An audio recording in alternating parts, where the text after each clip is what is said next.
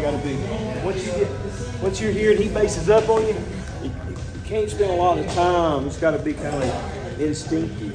When he bases up, you hit the ankle. You see where my chest is? You're up here too. Here.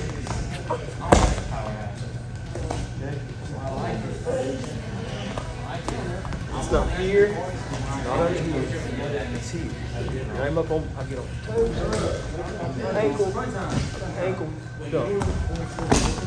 So what just here. Don't under you. Tight. My, I'm almost reaching all the way across. There's a difference up there? Then this, lift. Is that a lot more pressure than he's giving? Come here, I want to show you something else. At no point does this hand go to the mat. This hand releases here, right to the back of your head. Okay? If he starts fighting it, right into the position. Okay? If he doesn't try to base up, I'm working for a hand turn. If he bases up, I'm ready. Comes off this tight waist and uh, ankle. Uh, we're gonna go to our tight waist chop now. So right off the bat, I like to get this tight waist.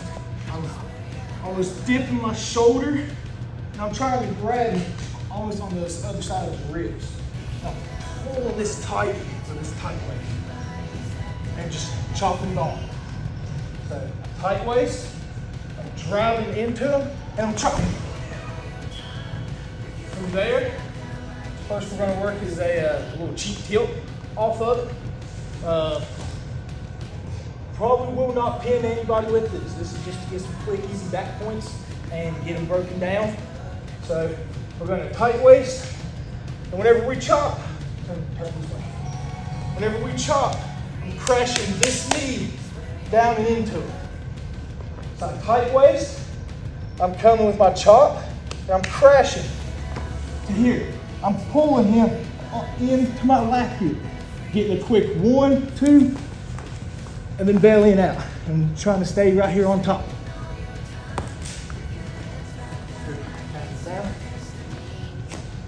Good. A tight waist. I'm coming with this chop. I'm crashing this knee. Pulling him into my lap here. Notice, circle. I'm on my toes here. Okay? I'm still driving. Start, I've got pressure into him, so he just can't turn.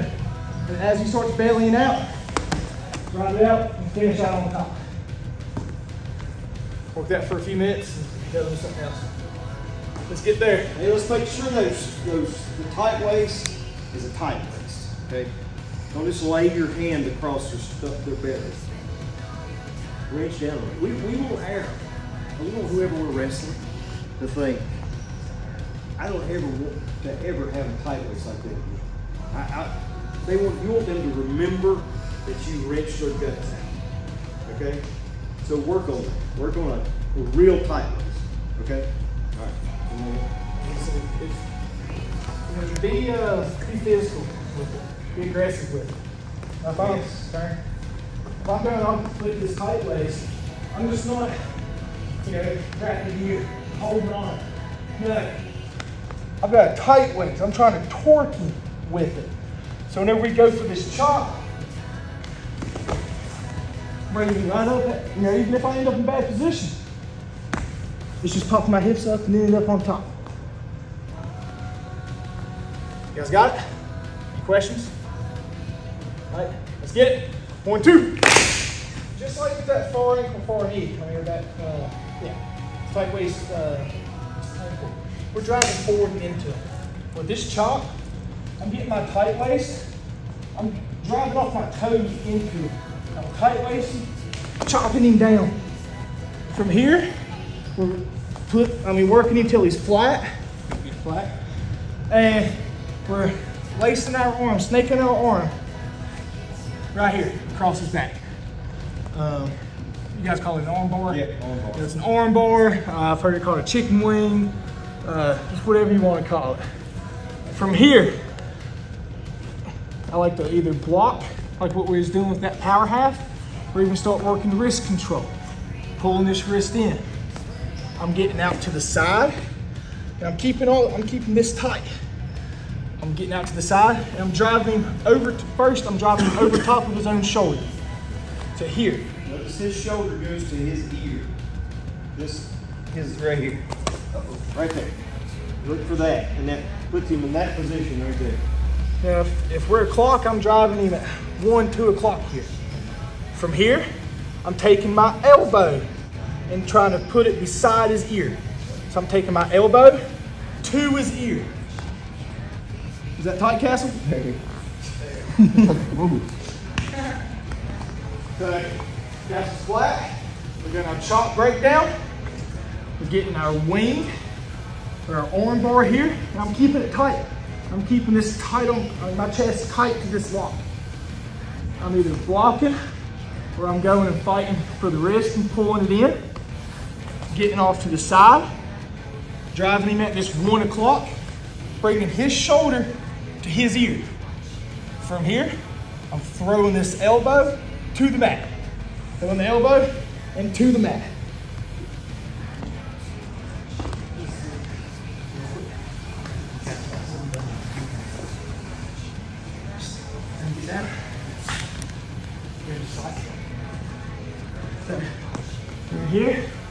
Working our wing in.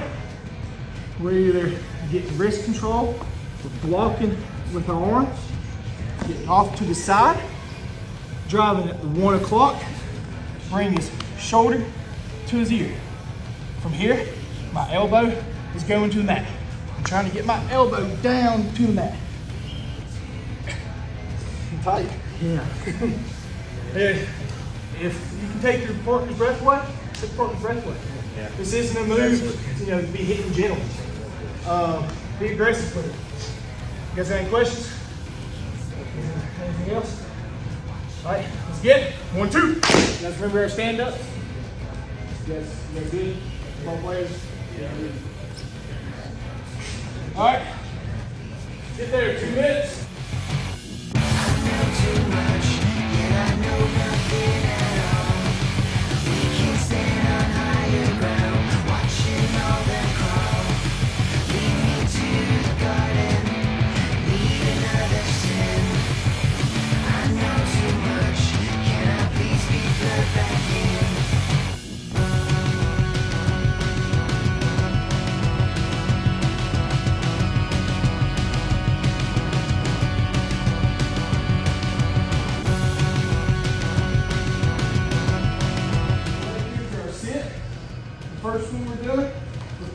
This wrist, standing on a little ball here, going to our shoulder, on top of our head, and then to our hip.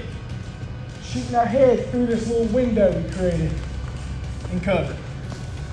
So, shoulders on top. Get to our sit, and our little ball. We're turning, rotating all the way through, covering behind if they follow us, so short ridges on top, we're going to our sit. If he tries to stay with me a little bit, so then we go to our Peterson. So I'm turning, going back to this little ball, and notice his hips are with mine. From here, we're pulling this arm through, and my other arm, I like to call it splitting the body. I'm going between his legs and shooting this up and hooking. We're either going walking on the thigh, pushing this down, or after that, going two hands on the one. Time. Getting this sit, standing our little ball, going, turning, going back to our base. He's following, and it's one motion. I'm going, ooh, rolling on through, hooking my thigh, settling, looking for some backs. All right, let's get it. One, two. Um, great little move. You'll get a reverse. We'll get two points. Uh, our setup for the sit out is exactly the same. Crossing, shooting my leg up, shooting this through. From here, instead of controlling it with my right hand, we're going over to this uh, I control it with my left and turn. And I'm starting to bring my hips out just a little bit to to get some pressure on his shoulder. Yeah, I honestly like to start even trying to get on my toes here. Put all that pressure right here on his arm. As I'm doing, as I'm sitting, I've got this weight on it. I'm starting to reach behind, I'm gonna reach around from the inside of his leg. From here, I'm sitting my hips, sitting my hips, so I pull myself around. That's our switch. So, calves on top. Getting into this sit out position, controlling the wrist. Our left hand, I'm starting, I'm starting to sit and reach behind, get pressure on his shoulder. From here, now I like to start getting off my toes. See, I haven't even started moving around yet. He's wanting to come down. So I'm just scooting, scooting. Then I can pump my hips and come around there. So we're uh, doing this sit. We're gonna sit up. Controlling this wrist, left hand, pulling that down between my legs. This hand is scooping inside his thigh. And I'm starting to get off my toe. I mean off my butt. I'm starting to get pressure into it. See, he already fell down from here. Got a lot of pressure? Yeah. From here, with his scoop, coming down on top. Let's get there. One, two. And then you're just running. That's all there is to it, really. Just, just fundamentally sound right there. Get in tight, use your head, cut that corner so you can drive. Outside arm blocks that knee so you can't post it up. And then you got it, okay? Let's go through a couple more. Go. Crotch. Our crotch shots are going to alternate. Let's grab him real quick. He's oh. so sweaty, I don't really want to. So with this side crunch, got inside control. I like to raise this elbow, create this little window. I'm level changing, penetrating. To here, I'm in a power position. Tight on this leg. From here, like the coach said, we're starting to cut this corner, look across, and we're just trading off to a double. So standing here tight, trading off to a double, run. That's it. That's it. Simple as that. Simple as that. All right, let's run through it. We'll walk around and help you. Go a duck. It's just a duck. Coach has already showed you they have inside control here, so when you're doing your um, high crotch, he was winging up, okay? Sometimes he'll pull, depends on what you're doing, but that's inside control if you want to know. If I say inside control or he says inside, inside control, your hands are inside his arms. You control at the tricep, okay?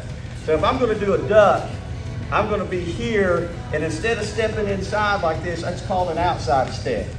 And that's the only difference. I'm going to step outside. I, as I step, you can see me winging this up, okay? Because I'm ducking it, that means I got to change levels. I got to get lower than him. He's small, I've got to get really low. But I'm doing it all off this outside step. When I throw this up, I'm coming underneath, okay? And I throw it by. Now if you look, I keep this pretty tight all the time, okay? Because this is the head control. So I'm inside control, outside step, and I'm winging up. As I'm doing that, my knee will transfer to the mat. Okay? I just did it right there. Knee, transfer. One goes down first, inside goes down, and outside down, and I'm up. I bring him with me when I do all this. Outside step, knee transfer to the mat. When I get here, this is coming where? Sideways, okay? Because what we really want to crank this up. Try and get right into the tilt. Later as we get better, okay? So it's just a duck. You get here, that's what you want, okay? Quicker the better. You'll go slow at first. You'll go slow at first. Bring him down to the mat. Have that tight waist. Then pick up speed. Got it? That's real quick, but we're on short time. Go. I'm going to sprawl back. The lead leg that he's coming for, most of us, is going to be our right leg. He shoots. I sprawl back. Now, I'm not falling on him because I outweigh him tremendously. But you've got to get your legs back. If he gets in here tight, That's not where you want to start this fight. Okay? He's got an advantage he knows what to do with it. So you got to kick those legs back. So I'm going to shoot on him. He's going to sprawl back. Okay? From right there, right now he's in a front headlock position. But let's say he transfers and he's just going heavy on the head. He wants to push my head in. Keep it locked, because if I can elevate it up, I can start reaching. He doesn't want that, okay? So make sure you get lots of head pressure. Once you've got good head pressure, you're gonna spin behind. And we could show all kinds of different things, but that's just the basic gist of it. If you can do that, get your legs back, get good head pressure, you've got a shot of taking their bad shot to turn into two points for you, okay? So I just want to shoot sprawl real quick. I want to see everybody do it. We might fine tune some stuff here in a second, but I want to get this in before we get out of here today. Go.